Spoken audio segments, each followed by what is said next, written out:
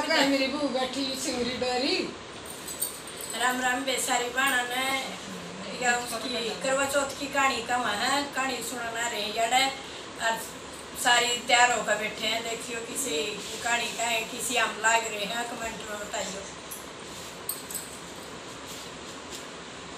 कार्तिक वदी चार को करवा चौथ कहते हैं वे वे इसमें गणेश जी की का पूजन व व्रत सुहागन स्त्रियाँ अपने पति की दीर्घायु के लिए करती हैं।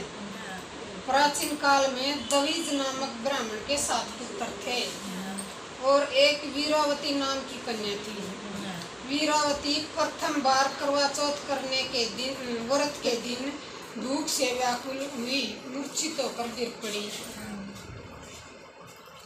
तभी सब भाई यह देख कर रोने लगे और जल से मुँह धुलाकर एक भाई वट वृक्ष के, वट वृक्ष पर चढ़कर छलनी में दीपक दिखाकर बहन से कहा कि चंद्रमा निकल आया है। उस अग्नि रूप को चंद्रमा समझकर दुख छोड़ वह चंद्रमा को अर्ध देकर भोजन के लिए बैठी। पहले कोर में बाल निकला, दूसरे कोर में छींक छींक हुई। तीसरे कोर में ससुराल में से बुलावा आ गया। ससुराल में उसने देखा कि उसका पति मरा पड़ा है। प्रयोग से वहाँ इंद्राणी आई। वीरागति उन्हें देखकर विलाप करते हुए बोली कि, हे माँ, यह किस अपराध का फल मुझे मिला? प्रार्थना करते हुए बोली कि, मेरे पति को ज़िंदा कर दो। इंद्राणी ने कहा कि तुमने करवा चौथ का व्रत बिना चंद्र चंद्रोदय चंद्रमा को अर्ध दिए दिया है।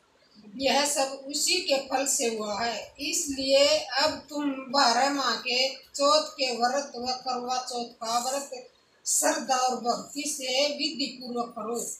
तब तुम्हारा पति पुनः जीवित उठेगा।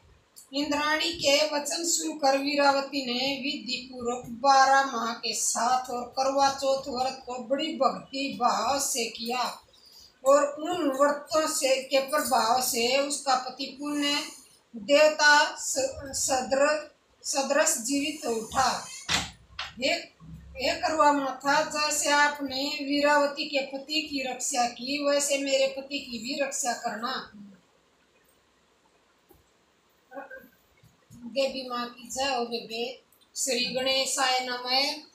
और कथा संपूर्ण हुई बेबे मेरी बेटी बुआ मेरी बुआ के मेरे बेटे.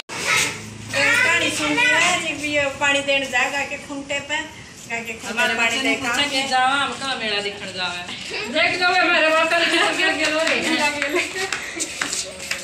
चल आए।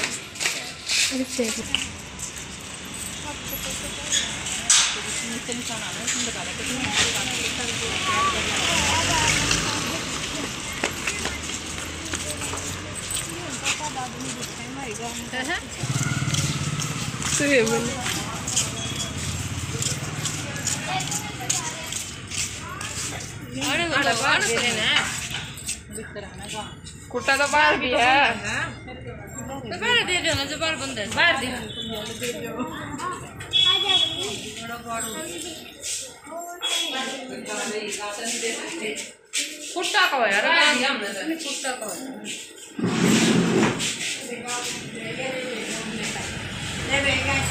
पानी दे ये सब के घर में सुख में और सुनियो कब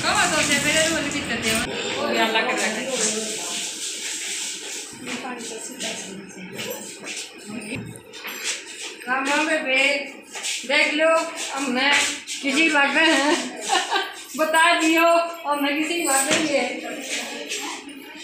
लाइक करियो बेबे शेयर करियो ये मेरी काकी है मेरी पड़ोसन है